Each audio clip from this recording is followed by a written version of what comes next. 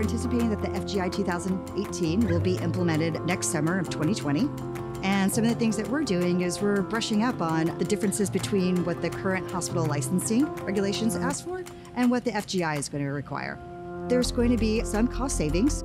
They are starting to look at other areas that can reduce square footage. For example, the size of an endoscopy room has shrunk a little bit. So Texas wants it at 250 square feet, um, and the FGI is going to say it's going to be 180, which should provide a cost benefit to the owner. Saving on square footage is the ultimate way to save money. Another benefit is they're going to allow you to combine your pre and post op PACU. That way, there can be more flexibility, so you can then flex the beds to accommodate your patient throughput. The Texas rules are based on the FGI, and so it shouldn't be difficult to go ahead and move forward with the new code.